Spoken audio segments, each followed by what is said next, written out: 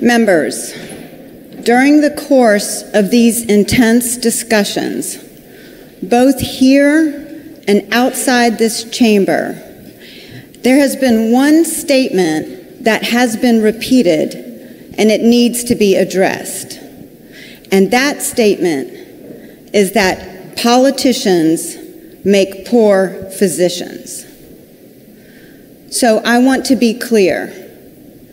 As I stand before you tonight, I stand as a woman, I stand as a mother, I stand as a physician. And as a physician, I took an oath. That oath is a duty. It is a duty to first do no harm, and it is a duty to protect each and every life. Each and every life. That is exactly what Senate Bill 20 does. And that is exactly why the only two physicians in the entire North Carolina General Assembly are supporting Senate Bill 20.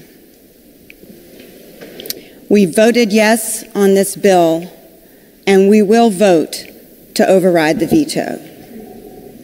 Senate Bill 20 makes medical sense, and Senate Bill 20 is common sense. It balances protecting the life of the unborn child. It balances that with a woman's need for life saving care. And importantly, it protects the integrity of the doctor patient relationship. It protects the Audience members should either stay silent or leave. The lady continues to have the floor. So I will repeat that statement. This bill protects the integrity of the doctor patient relationship. This bill represents consensus position of North Carolina's citizens, the vast majority of whom support limitations to abortion after 12 weeks. And extremely importantly, this bill provides resources for the pregnant woman. It provides broad resources and a significant knowledge base to enable her, to equip her in finding a path forward, a path forward for her, and a path forward for her unborn child.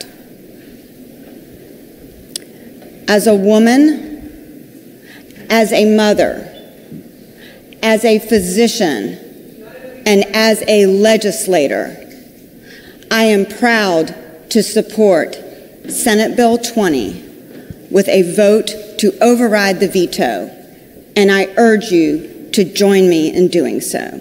Thank you.